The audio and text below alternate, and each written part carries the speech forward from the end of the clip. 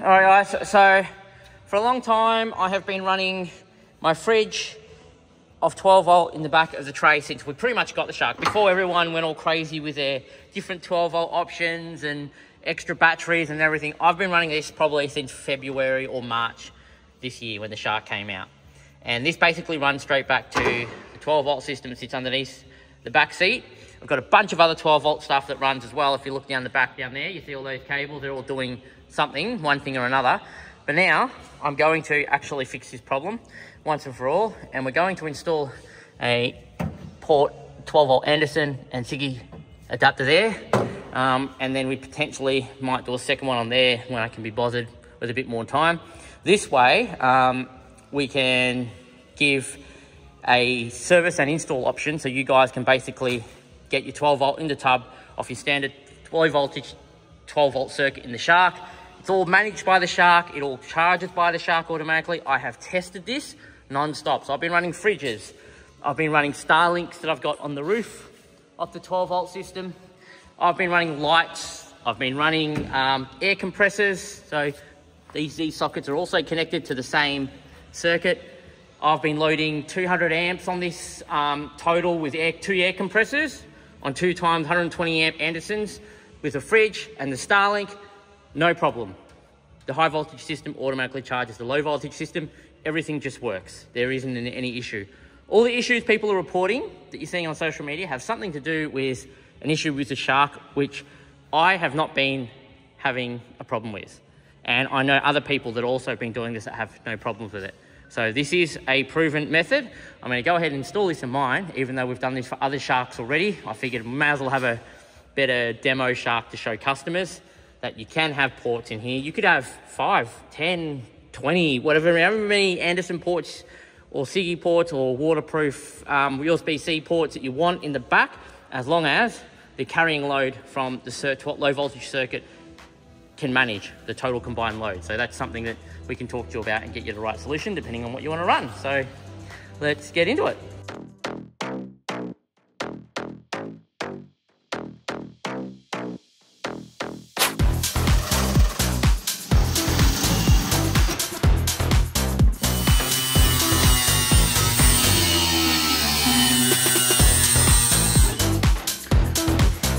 Leave you deburring tool.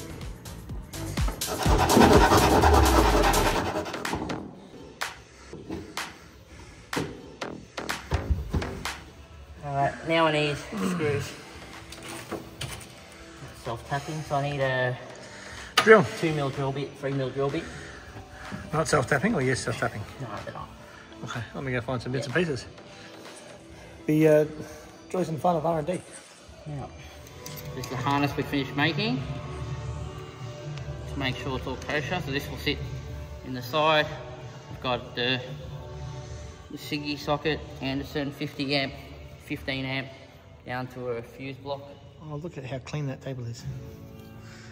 that's that's that's after hard day of work. Clean every morning. It's really nice. oh, let's get back into it.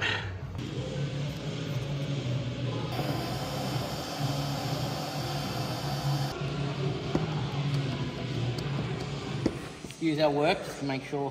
What kind of fuse is that? Uh, this is a MIDI fuse, but normally I wouldn't fuse it here. I've actually already got a fuse in there underneath to see where all the relays running otherwise, but I want to put a second fuse here just in case something else goes wrong along the way for safety. So, fuse, connection, did it all by Anderson so it's modular. Did probably pre-make these.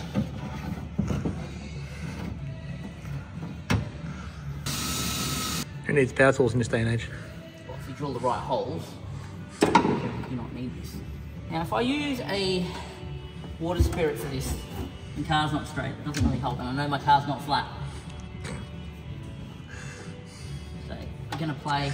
Link, link to video of Beer O'Clock Hill here. That's not why it's not flat, just so we're clear.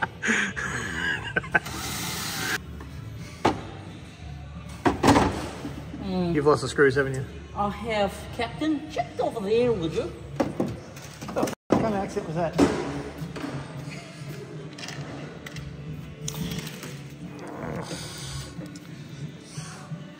He's three up impaired earlier. Oh, you know they're magnetised. Yeah. All the uh, filings that we've been gracefully cutting off today. Collecting all the... Oh.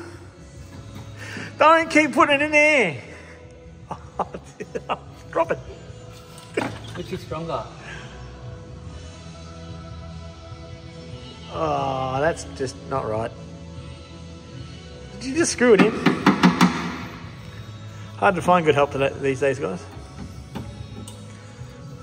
Yeah, it is actually. You're looking for a job. You could help.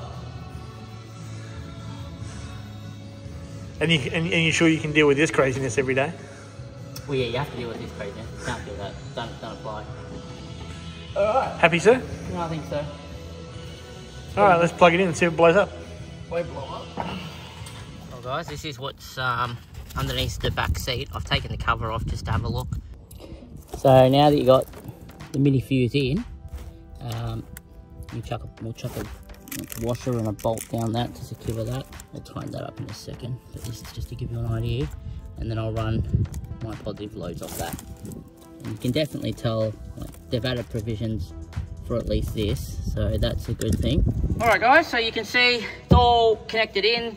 Uh, pretty good. It's getting wild here to grab the fridge, so you can test it. I mean, I've already tested it with a multimeter, but you know, what better way to actually plug the heat in and got power the front. There you go. Very good. DC 13.8 volts. That's it. And I even wired up some lights. I was just going to connect these lights directly to the 12 volt system because I have it on and off, but I actually switched it all the way to the front using another circuit I already had here. So um, in case, like in my mind, it's like if I'm traveling long distance and say this failed because this is all fused down the bottom, I did have an option then to go plug this in up here as a last resort. So like a like a backup basically. Like if I need power, if I've got a fridge and it's stopped working, I still have other places where I can get 12 volt from. You can also plug your 12 volt fridge if you've got one that supports AC to also these ports here, which obviously down here they turn off when the car is off. But what's good about that is when the car is on, the fridge will actually automatically change to AC because it prioritizes AC.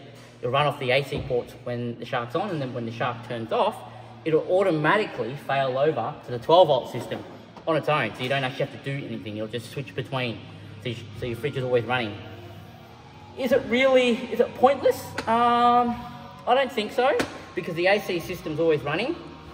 And it's also good too because if you have your fridge plugged into the AC, you actually get a signal on the dash that says AC operations running.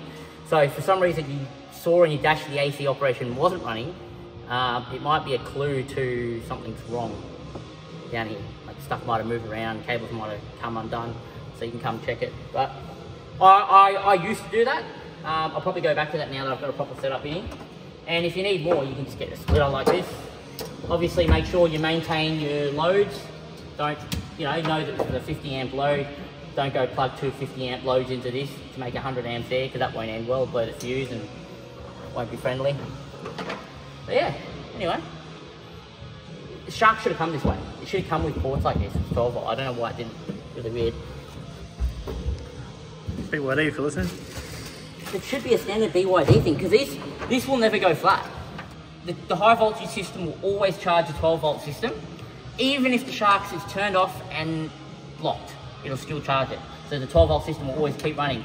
The only time it would stop is if the high voltage system got lower than a certain percentage, probably like 18%. But I've even found the Shark will automatically turn the generator on, charge a car's high voltage system, which actually charges low voltage system. So never had a flat battery in this car, despite everyone else's operation. I don't understand how they're managing that. Complete drive in, drive out solutions for your Starlink Mini. All done right here in our Melbourne workshop. Check out our full range at allterrain.com.au